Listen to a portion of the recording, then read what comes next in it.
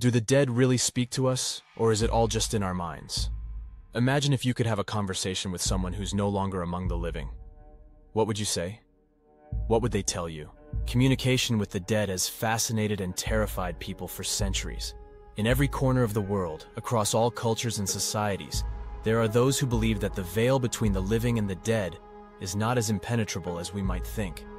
From whispered prayers to elaborate rituals, the desire to reach out to those who have passed on is a powerful force that spans generations.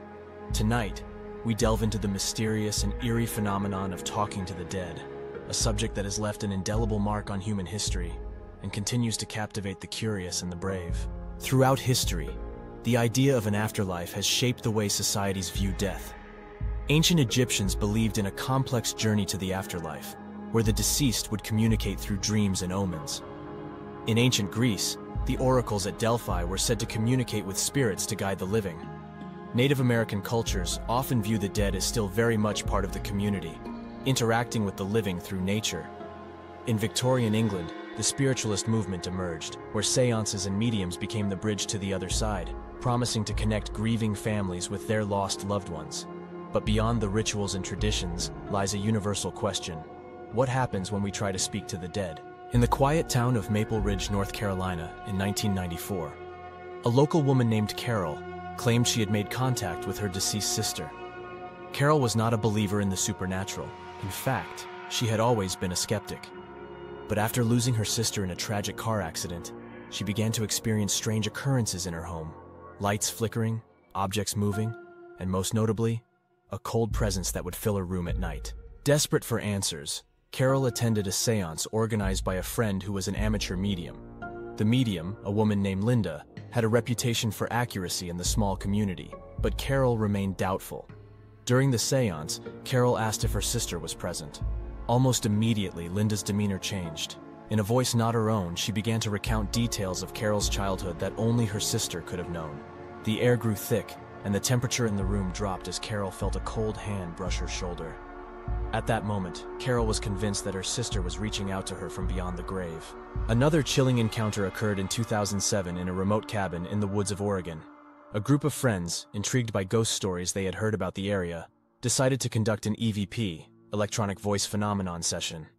They had no expectations but were looking for a thrill.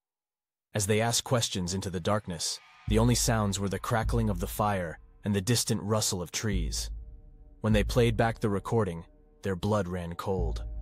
A voice, faint but unmistakable, answered their questions, mentioning names and events none of the friends knew about. The voice spoke of a tragic fire that had claimed lives in that very cabin in the early 1900s, a piece of history none of them were aware of until they later confirmed it in local archives. In both stories, the contact was brief, but the impact was profound. Whether these encounters were genuine or not, they left an indelible mark on those who experienced them, blurring the line between the living and the dead. Communicating with the dead is not without its challenges.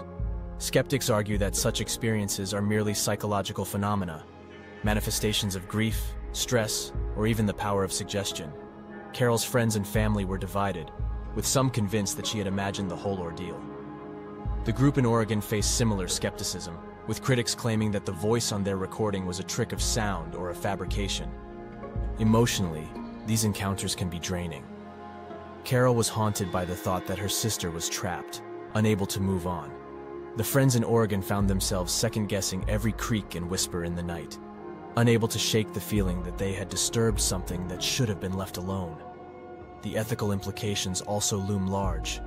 If these spirits are real, what does it mean to summon them? Are we offering comfort? Or are we selfishly refusing to let go? For Carol, the resolution came in the form of acceptance. Whether or not her sister truly reached out to her, the experience allowed her to process her grief and find peace in the belief that her sister was watching over her. She no longer feared the cold presence in her home, but welcomed it as a sign that her sister was near. The friends in Oregon decided not to pursue further contact with the spirit they encountered. Although the experience had been unsettling, it also gave them a new perspective on life and death. They left the cabin with a sense of respect for the unknown, understanding that some things are better left undisturbed. These encounters, whether real or imagined, offer a glimpse into the mysteries of the afterlife.